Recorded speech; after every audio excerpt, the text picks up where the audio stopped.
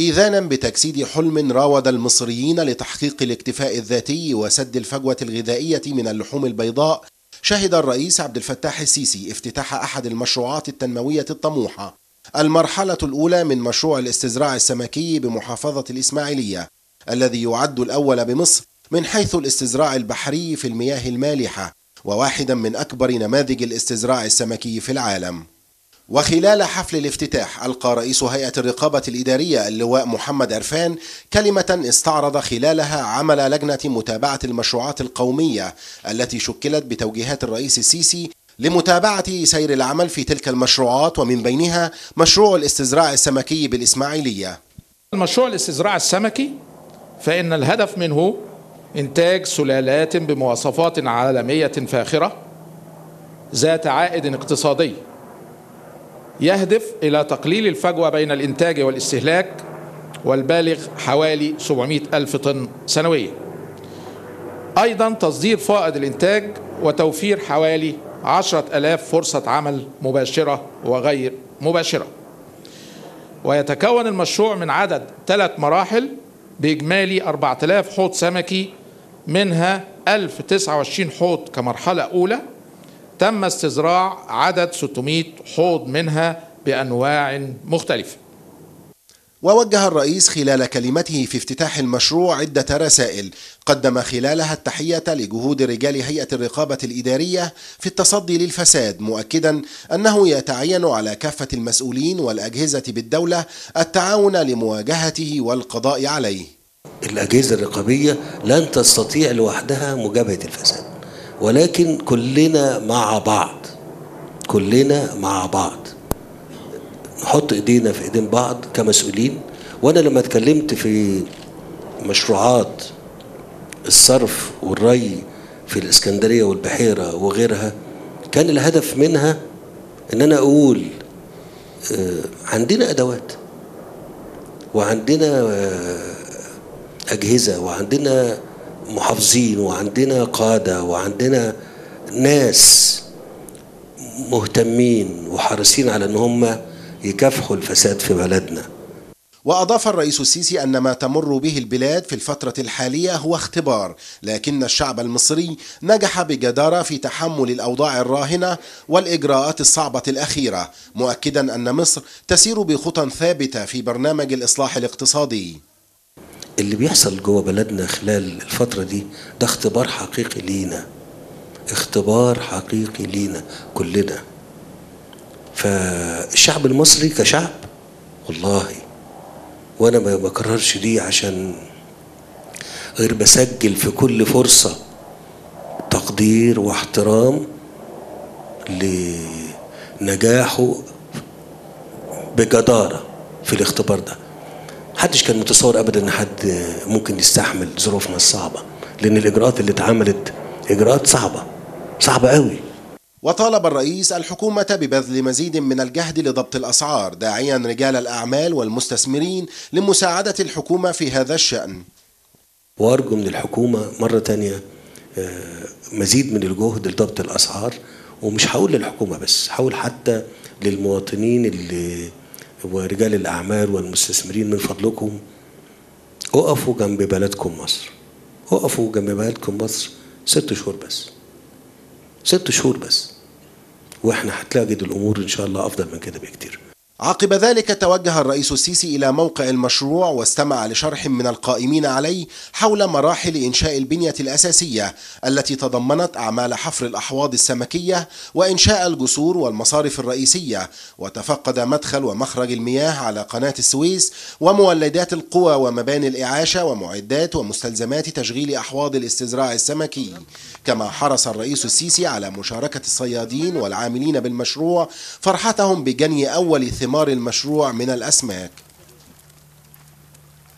وإلى بورسعيد المدينة الباسلة المحطة الثانية في جولة الرئيس السيسي التي افتتح خلالها مشروع كبر النصر العائم بمنطقة الرسوة الذي يربط بين مدينتي بورسعيد وبورفؤاد ليسهم بذلك في سيولة الحركة المرورية للمواطنين وتقليل زمن الرحلة بنسبة تصل إلى 75% والحد من تكدس سيارات النقل بمشروعات شرق بورسعيد الكوبري المعدني العائم هو الأول من نوعه في مصر بطول 420 مترا. قامت بإنشائه ست من الشركات التابعة لهيئة قناة السويس. وبالمركز الثقافي الترفيهي بالمدينة استقبل الأطفال الرئيس السيسي والحضور برقصة فلكلورية للمدينة الباسلة قبل أن يقوم الرئيس بافتتاح المركز الذي يعد الأول من نوعه في مدن القناة حيث يضم المجمع الذي أنشئ على مساحة 2600 متر. أوبرا بورسعيد إلى جانب قاعتي عرض سينمائي وقاعة للمؤتمرات. الكلام اللي بقوله ده لكم بقوله ليه مش بقوله بس رسالة لحضراتكم أنتوا يا أهل بورسعيد لا ده أنا بقوله لكل المصريين إن إحنا مش ساكتين ومش هنسكت. إحنا مش ساكتين ومش هنسكت. وهنفضل نجتهد ونشتغل وندور على كل حاجة طيبة وجميلة عشان نقدمها لكم. حضر الجولة رئيس الوزراء وعدد من الوزراء وكبار المسؤولين ورجال الدولة وعدد من شباب الأحزاب والإعلاميين وأعضاء مجلس النواب. علاء رشوان النيل.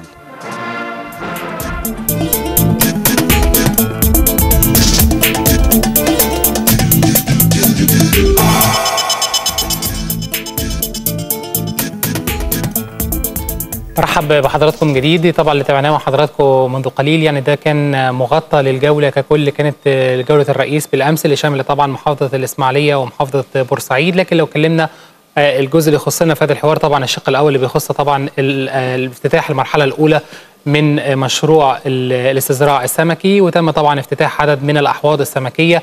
عدد الأحواض اللي تم افتتاحها بالفعل هي 1029 حوض سمكي كمرحلة أولى. العدد الكلي أو الإجمالي طبعا لهذه الأحواض هيكون إن شاء الله 4000 حوض مقسمة على عدد من المراحل. هيكون كمان عندنا 12 سفينة صيد. هيكون التغطية أو هتغطي حوالي أو هينتج من المشروع ده ككل حوالي 10000 700 ألف طن سنويا من المشاريع طبعا الخاصة بالثروة السمكية. عندنا طبعا 10000 فرصة عمل ممكن توفر. شفنا الباكورة الأولى طبعا للإنتاج بالأمس وكان بيشهدها الرئيس عبد الفتاح السيسي بنفسه باكورة الإنتاج الخاصة بالمزارع السمكية. عندنا فجوة غذائية لابد نعترف بيها طبعا وده ممكن يغطي جزء منها بشكل كبير جدا باعتباره الأسماك من البروتينات الحيوانية وإحنا عندنا مشكلة في الثروة الحيوانية وفي الثروة الداجنه كمان فبالتالي الأسماك ممكن تغطي الفجوة. دي من خلال مشاريع كتيرة جدا منها طبعا المشروع اللي إحنا شفناه بالأمس الإسماعيلية. إن شاء الله يكون في مشروع خلال أشهر قليلة جدا هيكون في محافظة كفر الشيخ وإحنا عملنا تغطية من هذه المحافظة. طبعا مشروع كبير جدا محافظة كفر الشيخ ويكون كمان عندنا مشروع ثالث في شرق التفريع إن شاء الله في محافظة بورسعيد. كلها بتهدف بالأساس لتغطية احتياجات السوق المحلي من الأسماك. طبعا إحنا عندنا مجموعة من الأنهار ومجموعة من البحار. وللأسف إن إحنا عندنا مشكلة في التغطية الخاصة بالأسماك. وده طبعا كان لابد من تدخل مباشرة لتغطية هذه الفجوة الخاصة بالاستزراع السمكي. خلينا نستغل الوقت أكتر ونروح لضيفنا الكريم باعتباره متخصص ومنغمس بشكل كبير جدا في موضوع الثروة السمكية وأكيد هناخد معلومات مفيدة جدا عن المشاريع الخاصة بالاستزراع السمكي وبالتحديد يمكن مشروع الافتتاح بالامس طبعا في محافظة الإسماعيلية يكون محور الأساس في حديثنا اليوم. برحب بالأستاذ دكتور إسماعيل عيسى أستاذ ورئيس قسم أمراض الأسماك بجامعة قناة السويس. برحب بك يا دكتور. أهلا وسهلا يا فندم. أهلا وسهلا بحضرتك. أهلا أهلا. دكتور بداية كده يعني إيه يعني كلمة أحواض سمك؟ يعني إيه كلمة نستزرع السمك؟ إحنا كلنا نعرفه إن إحنا نصطاد. إحنا دخلنا في تكنولوجيا جديدة أو عصر جديد كلمة الاستزراع السمكي إن إحنا نحاول نستزرع ونعمل تكاثر للأسماك من خلال الأحواض. إيه الفكرة بالأساس الخاصة بالأحواض السمكية؟ هو الفكرة حضرتك يعني زي ما حضرتك أشرت وقلت إن إحنا عندنا بحار وأنهار والكلام ده كله. الاستزراع هو جلب أنواع أسماك حرة إن أنا بحطها تحت الأسر. بعمل لها عملية إكسار. امم عملية الإكسار دي وإنتاج أعلى. يعني أنا السمكة اللي اللي, اللي, اللي بتعيش في متر مكعب أنا ممكن أحط 70 أو 80 في المتر المكعب. امم عملية انتنسيف أو أو أو تكثيف تكثيف لأنواع الأسماك. تديني أعداد أكبر وتديني أوزان أكبر. أكتر من الطبيعة. من خلال تغذية معينة بأكل معين بجلب سلالات معينة أو تدخل جينيا؟ أيوه من خلال آه. تدخل الإنسان هنا. آه. هنا التدخل الإنسان بيبقى في التغذية في التسميد في العلاج في الرعاية. كل العوامل دي كلها بتبقى في صالح السمكة. م. وتبقى في صالح المستهلك. الاسماك المستزرعه في رأيي أنا الشخصي وأنا أستاذ أمراض أسماك أكثر امانا للمستهلك طيب النقطة دي برضه دكتور طالما أنت أثرتها كنت هتطرق ليها بس في فترة لاحقة يعني حضرتك طالما أثرتها هنتكلم فيها. أيوة فعلا. فكرة التخوف اللي إحنا كنا بنسمعه من الأول من فكرة إن السمك ده سمك مزارع لأ يا عم مش هاخده. السمك ده بيتغذى على معلش عفوا السبلة وال... وال... والروث الحيواني وكان بيترمي باعتباره سماد وبالتالي بتاكله الأسماك فبالتالي بيترسب في جسم الإنسان كل دي مشكلات إحنا كنا بنعاصرها وبنسمعها وللأسف كمان مؤخرا شفناها على شاشات التلفزيون فبالتالي سمك المزارع لا ملناش دعوة بيه. الكلام ده كنا بنشوفه في السابق. إيه الفرق اللي ما بين ال- الفكر اللي كنا بنسمعه في الأول والفكر المتطور والحديث والمحترم اللي إحنا بنشوفه دلوقتي تحت رقابة أجهزة الدولة وتحت رقابة القوات المسلحة تحت رقابة الدولة ككل؟ تمام. أنا يمكن سبقت شوية وقلت إن هي أكثر امانا. بالظبط. هي أكثر امانا لأن في بعض الأمراض اللي ممكن تنتقل من الأسماك للإنسان. آه، أنا بتكلم على بحيرة.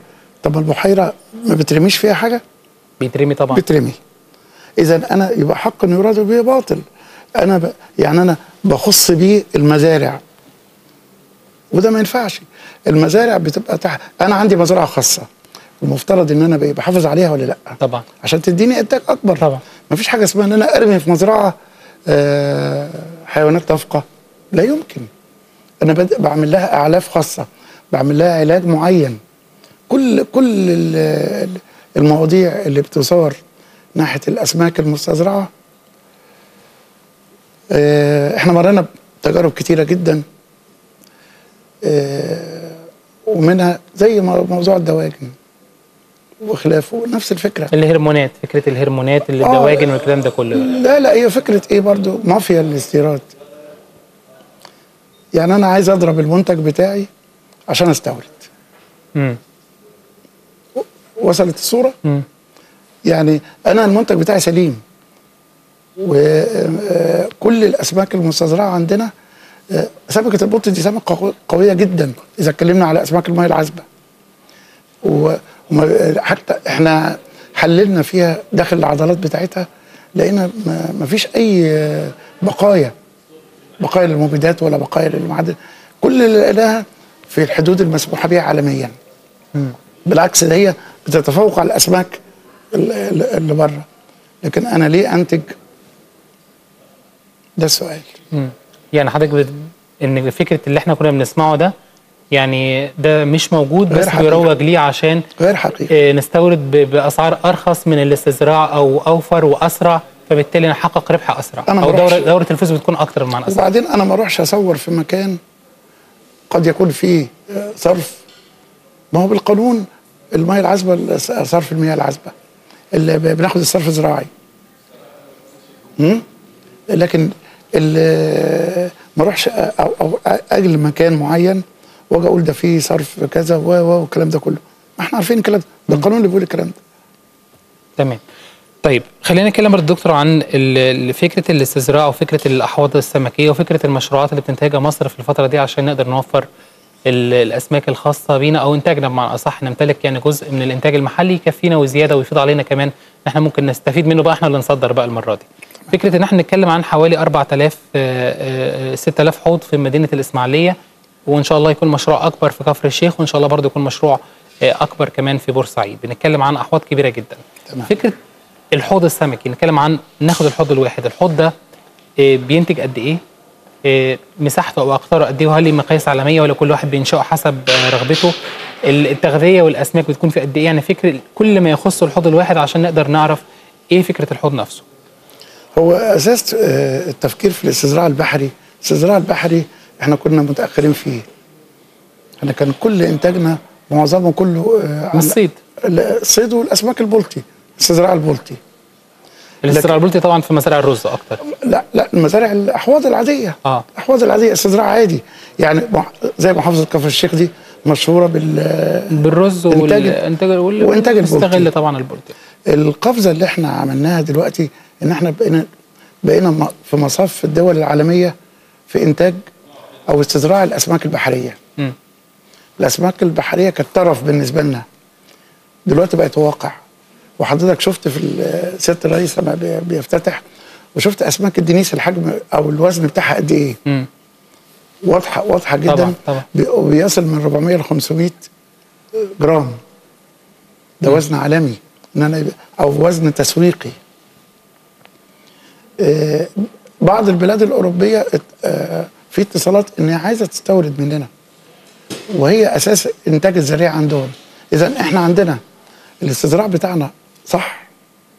تحت إشراف طبي دقيق تحت إشراف ورعاية سليمة بحيث إن تصل لحضرتك السمكة س- صالحة للاستهلاك الآدمي. طيب هنقف عند نقطة المواصفات دي يا دكتور عشان نتكلم في مواصفات السمكة وأنواعها وأشكالها.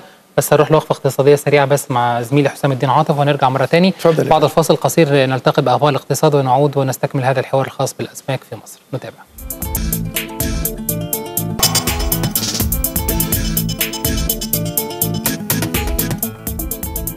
أهلا بكم جديد مشرفنا ودايما بنرحب بيه دكتور إسماعيل عيسى أستاذ رئيس قسم أمراض الأسماك بجامعة قناة السويس. برحب بك يا دكتور بداية. أهلا وسهلا أهلا. وسهلا يا فندم. دكتور آه، اتكلمنا كتير عن موضوع الأسماك وقفنا عند نقطة الأنواع اللي إحنا بنستزرعها وقفنا عند نقطة الدنيس طبعا باعتباره آه. رقم واحد في أوروبا ومن ال- المستهدفات الخاصة طبعا بالرقي في الأسماك يعني. هو في خمس أنواع آه، دلوقتي إحنا شغالين فيهم في في المرحلة اللي إحنا فيها آه، دلوقتي. المرحلة الأولى مم. اللي تم سياده الرئيس افتتحها امبارح اللي هو الدنيس والقاروص مم. واللوت وال- والتعابين تعابين الأسماك بالإضافة للجمبري مم. الخمس أنواع دولت آه، الحمد لله كان تم إنتاج ال- آه، الجمبري و- ونزل الأسواق من خلال أسبوعين أو ثلاثة الدنيس آه، حضرتك شفت آه، الإنتاج آه الإنتاج الإنتاج بتاعه دنيس والقاروص وبقية الأنواع كلها هتنزل في أوقات آه، معينة. آه، اللي أنا عايز أقول اللي حصل امبارح ده إعجاز مش إنجاز. بمعنى إن في سيمفونية تم عزفها ما بين هيئة قناة السويس ودي لازم لازم نقولها تم- تماما هيئة قناة السويس برئاسة الفريق مهيب فريق آه، مهاب و واللواء آه، مجدي عبد السميع اللي هو رئيس مجلس إدارة شركة قناة السويس للإستزراع السمكي اللي إحنا بنشتغل معاه الحقيقة لما بنقول قوات مسلحة يعني انضباط انضباط كلنا كنا بنشتغل ما حدش بيعمل عزف منفرد كلنا كف كفريق آه، بنشتغل لصالح. واللي حصل إيه بقى؟ اللي حصل إن بالنسبة لاسماك الدنيس أو ال- أو القاروص بيقعد عشان يديك إنتاج بره في أي دولة في العالم بيديك من 18 ل 20 شهر. عشان الزريعه تطلع. عشان تديك الحجم التسويقي. ال- اللي حضرتك السمك شفته امبارح. السمك اللي إحنا بنشوفه. أيوه عشان يبقى ده حجم تسويقي. إحنا هنا عندنا في مصر وعشان كده أنا بقول إعجاز. أقل من سنة. ما شاء الله. حاجة بتاعت ربنا بقى. آه لا لا. وجود الناس. مم. جهود الناس. في ناس بتبي بت- بتبيت هناك في شرق القناة. إحنا لنا زملاء أطباء بيطريين. وزراعيين وخريجي علوم وهندسه مهندسين بيباتوا في في ال- في الموقع. يعني ناس بتحب المكان. مم. انت اذا حبيت اي أي حتى لو تخصص بيديك سر آه، بيديك سره. يعني إذا حبيت مهنتك بتديك سرها. الناس دي كلهم بيحبوا شغلهم وبالتالي نجحوا. كلنا نجحنا آه، آه، كمنظومة بالإنتاج ده. في فجوة عندنا ما بين ال- الإنتاج عندنا في مصر والاستهلاك. آه. دي نقطة مهمة. برضه قوي يا دكتور. آه. ودي إحنا عايشين هي الفجوة كبيرة قوي يا دكتور؟ آه يعني هي إحنا بنتكلم مثلا عن نسبة كام في المية؟ لا ده أنا هقولها لك بالأطنان. يا ريت بعد. آه يعني يعني وامبارح وذكرها سيادة اللواء 700 ألف طن. 700 ألف طن ده رقم كبير. إيه، بنضطر نستورده إحنا دلوقتي بالنسبة للاستزراع البحري ده حل مشكلة كبيرة جدا. طيب ممكن نوفر كام من ال 700 دول يا دكتور؟ ممكن نوفرهم. نوفرهم كلهم. أنا أنا بوعدك إن مع مشروع شرق القناة مع كفر الشيخ مع شرق مع شرق التفريعة بورسعيد إن شاء الله هتسمع أخبار كويسة جدا. هتلاقي الإنتاج هيغطينا وحن ممكن يفيد شوية. وممكن نصدر. نصدر شوية. خاصة إن دي أسماك بحرية فاخرة. مم. طيب آه، أتكلم مع حضرتك بقى إن أنت مستشار بيطري للمشروع. فندم. يعني مستشار بيطري المشروع اذا أنت اللي بتشرف على الأمراض الخاصة آه، بالأسماك وبتتابعهم بيطريا. تمام. يعني إيه أتابع الأمراض الخاصة بالأسماك يا دكتور؟ وإيه أشهر الأمراض اللي موجودة آه، بالنسبة للأسماك؟ وطرق حتى التدخل وهل في المتابعات دي يومية المتابعات دي دوريه المتابعات دي شهريه المتابعات دي؟ يعني طرق المتابعات الخاصة بالأمراض دي إيه؟ يعني إيه أمراض الأسماك دي اللي إحنا السمك بعيد عن فكرنا شوية إن يكون بالنسبة له أمراض يعني؟ أه. لا هو السمك كائن حي. كائن حي عادي جدا بي بي بي ما ينطبق على الإنسان والحيوان بينطبق على الأسماك.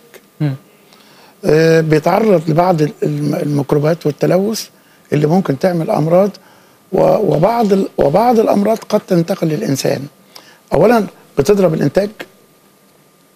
هنا مهمة الطبيب البيطري أو الدكتور البيطري إن هو بيمنع دخول المرض. يعني هو شغلة إيه الدكتور البيطري في المزرعة؟ أساسا هو بيمنع دخول المرض. طيب المرض دخل. الخطوة الثانية يمنع انتشاره. يعني ممكن ينتشر من حوض لحوض. أو حتى داخل الحوض. يعني لو عندي يعني ممكن يوقف الانتشار جوه الحوض نفسه؟ تمام. هو الحوض أو مقسم أقسام ولا هو الحوض على بعضه؟ لا هو ممكن الحوض على بعضه أو ممكن بيبقى فيه بارتيشنز أو أجزاء بتبقى بتفصلها. فأنا ممكن أمنع انتشاره داخل أو خارج للأحواض المحيطة بالحوض. أوكي طيب. أنت دلوقتي منعت الدخول؟ طب دخل يبقى أنا بمنع الانتشار نمرة ثلاثة إذا انتشر. أنا شغلتي إن أنا برفع المناعة وأحافظ على السمك بتاعي. ال- الأمراض ال- المتابعة المتابعة دي ممكن تكون أسبوعية? وبيتعمل بيها آه، تقرير. ونتدخل بالعلاج. والعلاج الايه؟ العلاج الآمن للسمك والإنسان. إنسان. لأن أنا مش حدي. يعني أنا دلوقتي إحنا منعنا معظم المضادات الحيوية. ليه؟ المضادات الحيوية بتبقى موجودة بقاياها في العضلات اللي بياكلها الإنسان. وبعدين أنا عندي برد أو أي أي مشكلة وخدت مضاد حيوي بيبقى في حاجة اسمها drug resistance أو الم- الم- المقاومة الد- الدوائية. يعني أنا عندي مشبع بال بالمضاد الحيوي وبالتالي لن يؤثر فيا. إذا الأمراض موجودة و- وإحنا تدخلنا إن إحنا بنحد آه، من انتشارها آه، على أساس إنها ما تقللش الإنتاج لأنها ممكن تقلل الإنتاج. وقد لا يصل المنتج إلى الإيه؟ الحجم أو الوزن التسويقي. فبالتالي بيتم تدخل بيطريا عشان نقدر نكافح الأمراض دي. تمام يا فندم. طيب دكتور من ضمن الحاجات اللي بنتكلم عنها هي تغذية السمك. نعم. تغذيته طبعا زي ما حضرتك قلت هي تغذية محسوبة بمقدار مش زي ال- البحر أو النهر يعني حاجات. متسابة فبالتالي هو محسوب. فإحنا طبعا بنتدخل عن طريق الأسمدة والأعلاف.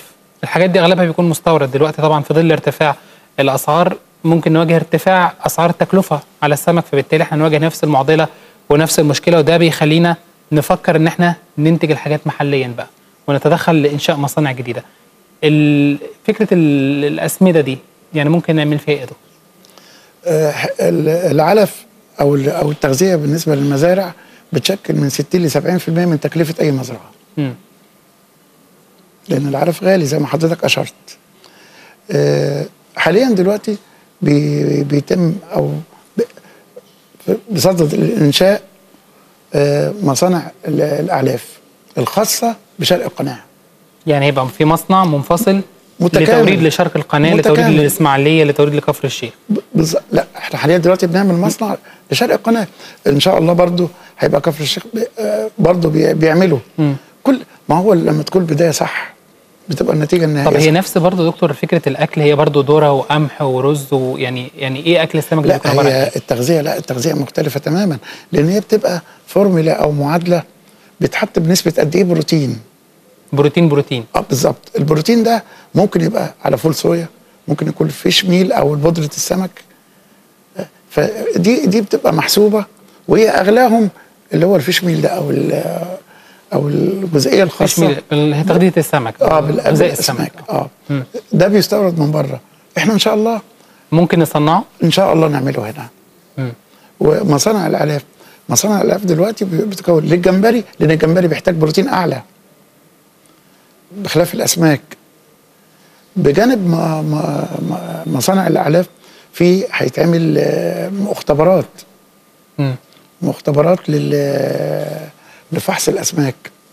يعني إيه؟ على الموقع نفسه هيتعمل مختبر. يعني بدل ما أنا أروح لا ده هيبقى فيه. وحدة. وحدة تمام؟ الوحدة البيطرية دي هتبقى ملحق بيها مختبر. المختبر ده بقى إحنا هيبقى الفحص يومي. عينة من المية وعينة من السمك. آه بي- بيتفحص الروتين بتاعها هيبقى يومي.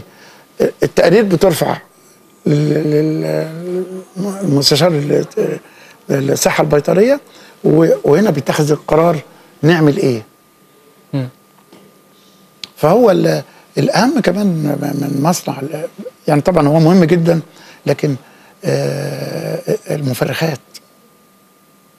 المفرخات دي مهمة جدا جدا وإحنا بدأنا دلوقتي. مفرخ للجمبري بيتعمل ومفرخ لأن ده بيختلف عن المفرخ الأسماك. السمك. ده مهم جدا. ليه؟ ده ما بيخلينيش أحتاج إن أنا أستورد سمك من بره. ما أنا بستورد زريعه لا أنا كده خلاص. هيبقى عندي انتاجي من الزريعه اللي هتوفر لي العملة وهتنزل بثمن السمك. السمك. سعر السمك. إحنا دكتور بن الحوض مثلا لما بنقول إن هو خلاص السمك جاهز إن هو خلاص إن إحنا نخرجه من الحوض أو نتم صيده خلاص أو نخرجه من الحوض. تمام. إحنا بنصفي الحوض تماما من كل اللي فيه. وبنجيب زريعة جديدة ولا بنختار مثلا ال ال مثلا الذكور والإناث الأقوياء ونسيبهم يتكاثروا ولا إحنا بنجيب زريعة من أول وجديد نزرعها في الحوض؟ عشان نسيب الأمهات يبقى لازم عندي مفرخ مفرخ خارجي غير الأحواض دي. أيوه. آه. إنما أنا دلوقتي أنا بشيل كله لحين إنشاء المفرخ الأمور هتتضح أكتر. هتتضح أكتر من كده. يعني حتى هذه اللحظات إحنا بنستورد اللي هي الزريعات آه. الخاصة بال آه، بس بالاسماك إن شاء الله قريب جدا بمجرد ما مفرخ الجمبري ومفرخ السمك يتعملوا خلاص ما عادش بقى, بقى إن أنا ألجأ لحد بره. بالعكس هيبقى إنتاجي وسمك أنا والأمهات بتاعتي. مم. طيب آه برضه دكتور فكرة عملتنا الخاصة بالمشروع ده عمالة مصرية 100% عندنا آه مستشارين أجانب عندنا يعني إحنا شكل العمالة الخاصة بالمشروع ده إيه؟ آه، إحنا استفدنا جدا جدا لأن إحنا دلوقتي أصبح عندنا آه، خبرة ال ال عندنا أطباء بيطريين وزراعيين وعلوم خدوا الخبرة على أرض الواقع ما خدوهاش في المحاضرة وفي المدرج هم هم هو اتخرج وخد الكلام النظري نزل على الواقع وبقوا بقوا آه، دلوقتي أنا أعتبر إن كل واحد فيهم خبير. مم. العمال اللي عندنا أو العمالة اللي موجودة على أعلى دراية. يعني ممكن يشتغلوا في أحسن دولة أوروبية وكفاءة عالية جدا. أما بحتة الخبرة الأجنبية هيستعان. لكن. الفترة دي إحنا مصريين 100% لغاية دلوقتي إحنا 100% 100% مصريين. مصر. والإنتاج بتاع مصر والخبرة بتوعنا مصريين. هايل جدا. طيب النقطة الثانية يا دكتور عشان إحنا خلاص لازم نختم في خلال دقائق معدودة. أيوة. بنتكلم عن نقطة التصنيع بقى. تصنيع اللي هي الأسماك فكرة إن إحنا نشوف سمك مغلف زي ما إحنا بنجيب نستورد التونة من بره في علب آه. آه، والتدخين والتبخير وغيرها طبعا من الأشكال المع- المعتادة إيه في صناعة الأسماك. هل ده ممكن تكون خطوة لاحقة؟ ممكن نعمل ده يعني نقدر نعمل ده ويكون برضو علينا آه، فكرة التصدير بالخاص بالعلب أو كمان نوفر السوق المحلي يعني. ده ده ممكن نقدر نعمل ده؟ إن شاء الله هنعمله وفعلا محطوطة في الخطة. التجهيز بتاع الأسماك ديت وعشان النقل للمسافات البعيدة. آه، الدنيس ممكن بيتعمل بالأحجام ال- الكبيرة آه، على حسب ما هو الدولة حتى لو حبت تستورد ما انت لازم تحط له مواصفات معينة. أيوه. فهنا نفس ال- الفكرة حتة التعليب وال وال- والتدخين والكلام ده كله كله محطوط في في الخطة على أساس ده بيبقى مصنع آه، خاص لوحده مستقل.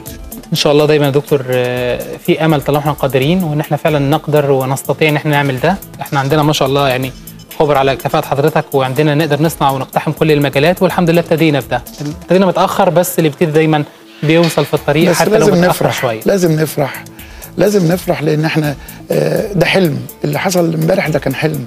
حلم. أنا كراجل بتاع سمك بقى لي أكتر من 40 سنة بشتغل في المجال ده. كنت بحلم إن إحنا نعيش اليوم ده إن إحنا يبقى عندنا استزراع بحري. إن شاء الله بالحلم والأمل والعمل إن إحنا نقدر نبني مصر إن شاء الله وبالاستعانة طبعا بالكفاءات اللي عندنا الموجودة في مصر. أنا بتقدم لك بالشكر الجزيل شرفتنا بالحضور دكتور إسماعيل عيسى أستاذ ورئيس قسم أمراض الأسماك بجامعة قناة السويس كل التوفيق إن شاء الله آه، لحضراتكم إن أنتوا تقدروا إن شاء الله تحلوا الأزمة اللي موجودة في مصر من توفير البروتينات شكرا أستاذ عمرو شرفتنا على. الأسئلة الراقية وال أشكرك يا فندم. شكرا لحضرتك. ده كان حوار بيفتح طاقة أمل جديدة. إن إحنا نتكلم عن مصر بجد مصر اللي جاية إزاي ممكن نبنيها في شتى المجالات وفي شتى الطرق الممكنة نقدر نبني مصر إن شاء الله بأيادي مصرية خالصة طول ما إحنا آه، فينا نفس وطول ما إحنا قادرين إن إحنا نبني ده. بس يكون عندنا الإرادة والعزيمة اللي نبني بيها. آه، شكرا لحضراتكم. ده كان ختام آه، فقرتنا لهذا الصباح لهذا اليوم. تقبلوا تحياتي وتحيات فريق عمل البرنامج. غدا بإذن الله في السابعة صباحا فريق عمل جديد. إلى اللقاء.